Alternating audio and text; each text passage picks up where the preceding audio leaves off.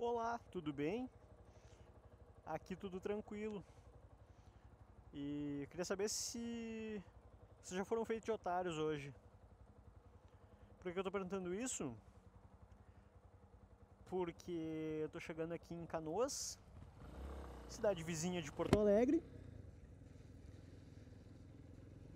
E eu tô vindo de Porto Alegre agora eu estou com meus pés molhados, porque em Porto Alegre estava chovendo. E magicamente aqui em Canoas, que é a cidade vizinha, é do lado, é, é, uma, é, uma é do lado da outra. Aqui parece que não choveu, parece que nunca choveu aqui. Aí agora eu vou chegar em casa, todo molhado, sendo que não estava chovendo. Veja bem, que coisa louca, né? Pior é que isso é uma coisa que é, entre aspas, até meio normal de acontecer. É, eu trabalhava em outra.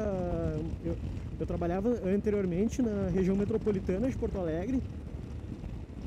E, cara, direto acontecia isso. Eu, na fronteira, pegava exatamente na fronteira de uma cidade para outra, começava a chover.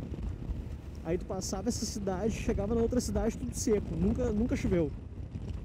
Muito interessante isso. É só para te molhar mesmo. Mas faz parte, né? Quem anda de moto tá sujeito a se molhar. É isso aí. Quando for comprar uma moto, já tem que ficar ciente de algumas coisas. E uma delas é, hora ou outra, tu vai te molhar, não adianta. Tu vai te molhar. Tu vai sair de casa, vai estar um sol maravilhoso. Daqui a pouco, porque sim, vai começar uma tempestade. Quem anda de moto vai me entender. E vai me entender também que é um saco ficar andando com capa de chuva. Que pelo amor de Deus, não sei o que é pior, carregar a capa de chuva ou colocar a capa de chuva. Tem uma experiência negativa andando de moto é, é essa história de capa de chuva. Meu Deus, que negócio bem insuportável essa história de capa de chuva. Eu detesto, eu às vezes prefiro me molhar do que colocar uma capa.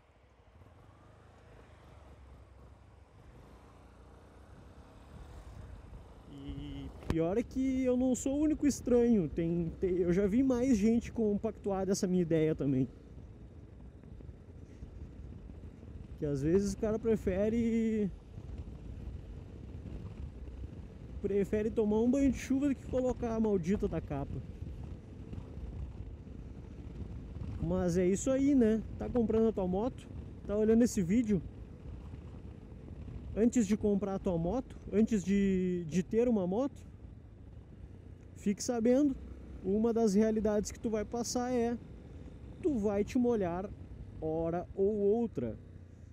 E é muito legal quando tu te molha voltando para casa. O que, que eu vou dizer? Eu já me molhei indo trabalhar, sem roupa reserva, sem capa de chuva. Fazer o que, né?